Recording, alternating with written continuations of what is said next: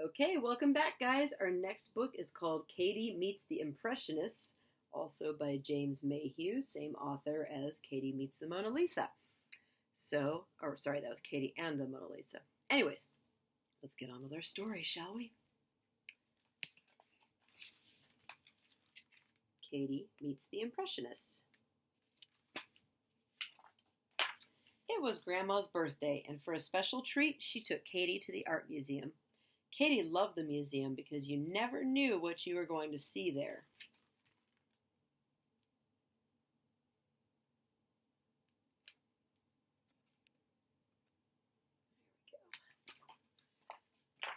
Look at the flowers in the painting, said Grandma. I can only see spots, said Katie. The pictures are made up of dabs of paint and color, said Grandma, but when you stand back, the dabs make a picture. Katie wandered off into the next room to try. There she saw a painting called The Luncheon by Claude Monet. When she stood back, Katie could see a garden. Grandma would love flowers like those for her birthday, she thought. She closed her eyes and sniffed.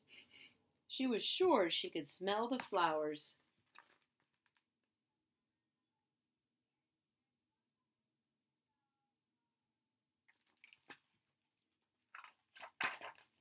And when Katie opened her eyes, there she was among the daisies, hollyhocks, roses, and sunflowers. Can I pick some flowers? said Katie to the little boy, whose name was John. John called his mother and Nanny over and spoke to them in French. Un bouquet? said his mother. Oui, Jean, you go and help the girl. So John and Katie gathered flowers together. Are you going to paint them? he asked. No, they're for my grandma, said Katie. Papa paints flowers, said John. I'll show you.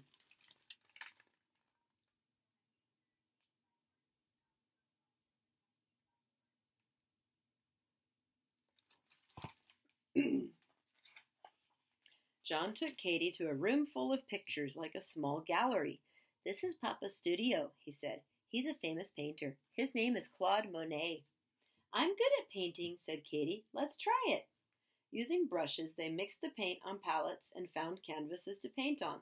They painted portraits of each other using dabs, just like real painters. Now I'd better get back to Grandma, said Katie, and they went out into the garden. Will you come another day? asked John. I'd like to, said Katie. She picked up the bunch of flowers and, waving goodbye, climbed through the frame into the museum.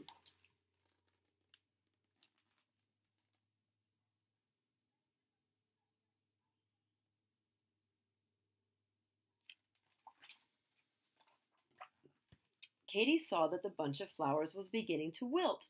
What I need is some water, she said, looking around the gallery. She saw a painting called Girl with Watering Can by Pierre Auguste Renoir. Katie looked around to make sure no one was watching her and climbed inside. Can I have some water for my flowers? said Katie. The little girl put the flowers into her watering can. Voila! she said. But the flowers still drooped and flopped over.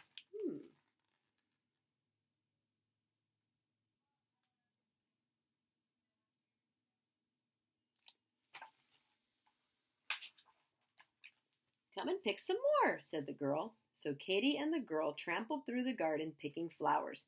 Katie pretended it was a jungle and that she was a panther chasing the girl. Suddenly there was a terrible scream. It was the girl's mother. You have ruined my garden, she shouted. It wasn't me, said the girl. It was her, and she pointed at Katie. Come here, you naughty child, said the mother. But Katie ran for the picture frame and leapt into the museum, leaving the flowers scattered behind her.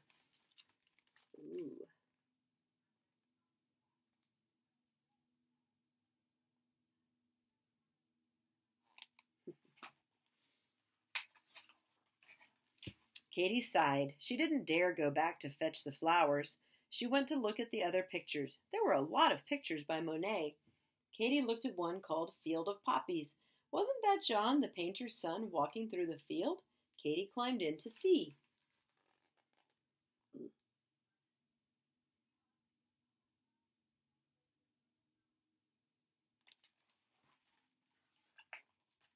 It was John. He was delighted to see her.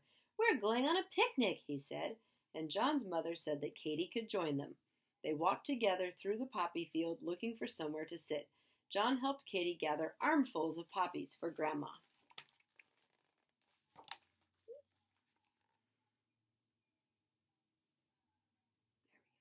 And you guys might have noticed some of these red flowers around Austin right now, too. We have the same red poppies here in Austin, and they're blooming right now. So pretty. Afterward, they sat in the shade of the tree, the perfect place for a picnic. Mrs. Monet opened a bag. She had bread and cheese and strawberries. But John heard a buzzing noise and looked up. A black cloud of bees was flying towards them.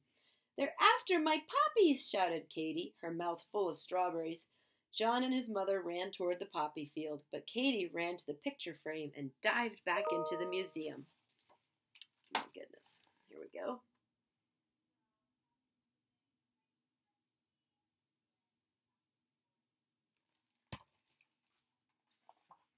The bees followed Katie, who ran on and on until she reached a window. She flung it open and threw the poppies out. The bees flew after them. Katie panted until she got her breath back. She still didn't have any flowers for Grandma. She saw another picture by Pierre Auguste Renoir. It showed a girl at the theater and was called Her First Evening Out. This girl was holding a posy of flowers. Would love a posy like that, said Katie before jumping into the picture.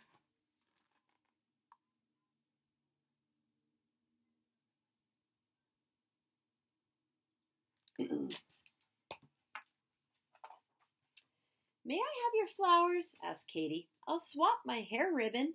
Hush, said the girl. The ballet is about to begin. Katie looked for a seat, but they were all full. The theater manager appeared. Mademoiselle, may I see your ticket? he said. Katie didn't have one, so she ran off down some steps.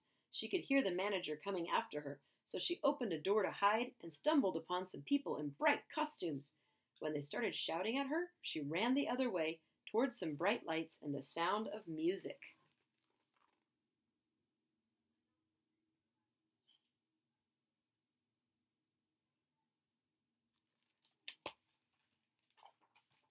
Katie pushed past the heavy velvet curtains and found herself on stage. The dancers held their breath. So did the musicians in the orchestra. So did the audience. What was Katie going to do?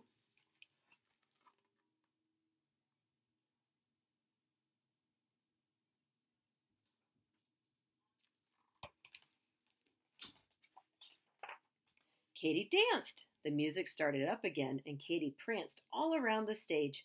How the audience loved her. They had never seen anyone dance like that before. They cheered and clapped and threw flowers. Hundreds of flowers fell upon Katie as she twirled around. Well done, they shouted. Bravo! When the music stopped, Katie curtsied and gathered up her flowers.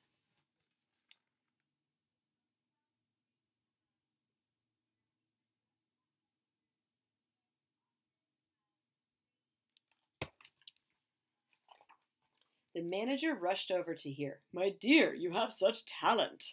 Katie blushed. I just jumped around a bit, really, she said. You must dance every night. You will be famous, said the manager.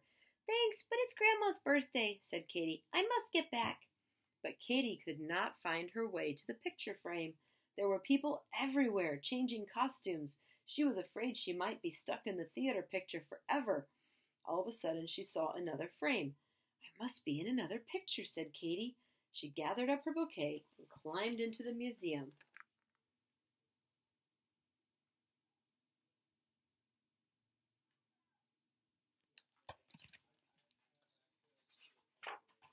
Katie looked back at the picture. The Blue Dancers by Edgar Degas, she read. I wonder if I would have been painted if I had stayed still long enough, she said. Then Katie ran over to her grandma and gave her the flowers. Happy birthday, Grandma! My goodness, said Grandma, wherever did you get these lovely flowers? Katie just laughed. But what was that in her pocket? A paintbrush? Monet will need oh. that, she thought. She ran back to the first picture, left the brush on the frame, and then ran to catch up with her grandma.